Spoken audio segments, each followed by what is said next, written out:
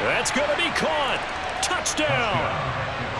Randy Moss, 23 yards for the touchdown. And they are able to add on to their advantage.